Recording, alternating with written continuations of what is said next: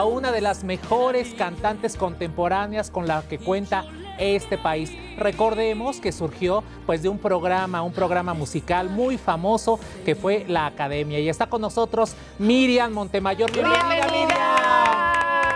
¿Cómo están? Hola, buenos días. ¿Cómo están, querido Capi? Te mando besos. ¿Cómo están?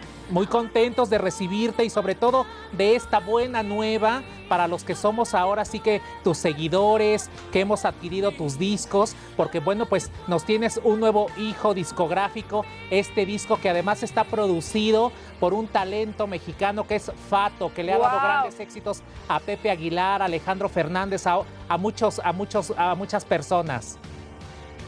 Así es, mi querido Cafi, prometí volver con un gran disco y así será. El día de mañana verá la luz mi primer sencillo que se llama Prometiste Volver, este gran disco que es autoría y producción del maestro Fato y bueno, pues estoy feliz, feliz por eso. A partir de mañana ya va a estar este sencillo en todas las plataformas digitales, también lo vamos a sacar a dueto un poquito más adelante, pero a partir de mañana ya lo pueden ver y muy próximamente va a salir también el video para que lo puedan, lo puedan disfrutar. Miriam, te saluda Ivonne Chávez, felicidades por este tercer alumbramiento, ¿no? Ya tienes a tus dos bebitos y ahora este niño, este niño que es tu disco. ¿Cómo se da el encuentro entre Fato y tú, el maestro Fato? Porque de verdad que el maestro Fato pues es garantía. Imagínate que es, es muy responsable del éxito que ha tenido Pepe Aguilar durante toda su carrera. Así es. Así es, Ivonne. Como bien lo comentas, eh, el maestro Fato es sinónimo de éxito y bueno, pues tengo el gusto de conocerlo ya desde hace muchos años. Eh, y andar detrás de él musicalmente hablando. Tenía muchas ganas yo de hacer este disco porque sé que es un disco que va a marcar un antes y un después en mi carrera. Y, bueno, pues la verdad es que estoy feliz por esta gran, por esta gran mancuerna musical que estamos haciendo. Eh, se va a hacer un disco de, éxitos, de, de, muchos, de muchos de sus, de sus temas que han sido éxito, como bien lo comentas, en otras voces, ahora con mi versión y bueno, pues también está componiendo temas especialmente para mí, así es que la verdad es que me siento muy afortunada, eh, muy feliz y bueno, pues yo tengo una gran y profunda admiración desde hace mucho tiempo, así es que estoy muy contenta por, por esto. Oye, mira, te saluda Michelle Rubalcaba, qué gusto que estés con nosotros. Me gustaría preguntarte qué es lo que más le has, aprendido al gran maestro Fato, porque obviamente tú como, eh, como la gran cantante que eres, sabes que cuando hay un maestro musical le, le, aprendes todo lo que puede. ¿Qué es lo que tú le has aprendido a este gran maestro? Bueno, pues la pasión por la música, ¿no? La pasión con la que canta sus canciones, con la que las compone.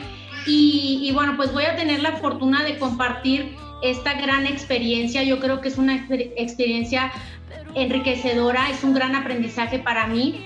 Eh, en el mundo de la música he tenido la oportunidad de compartir con grandes intérpretes y también con grandes compositores como el maestro Fato, como el maestro Manzanero, como el maestro Macías. Así es que todas son grandes, grandes experiencias y, pues estoy muy contenta y sobre todo muy agradecida con Fato de que me permita eh, darle voz a, hacer una versión de sus canciones, claro. este, de darme esa gran oportunidad.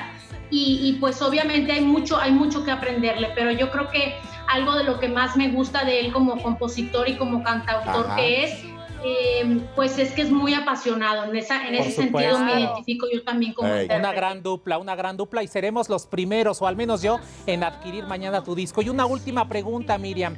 Ayer, la verdad, hice una moína terrible, un coraje eh, estrepitoso, porque TV Azteca había anunciado que pasaría un programa que se llama Las Batallas, dedicado a ti y a la hora de la hora, eh, pues pusieron uno de Fernando del Solar. ¿Qué pasó? ¿Por qué nos hicieron esa, esa, esa trastada?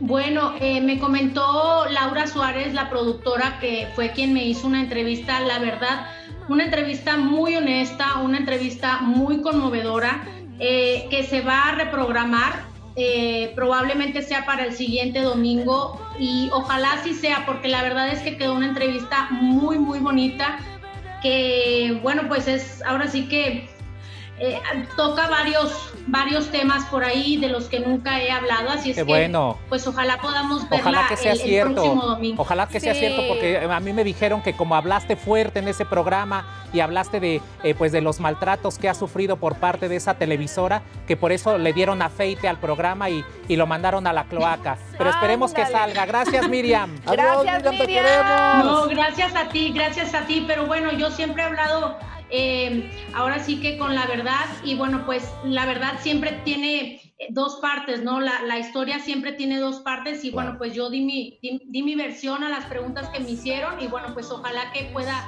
compartirlo con todos ustedes. Hablar sin porque la verdad lisonja. es que quedó Gracias. Adiós. Gracias, Gracias.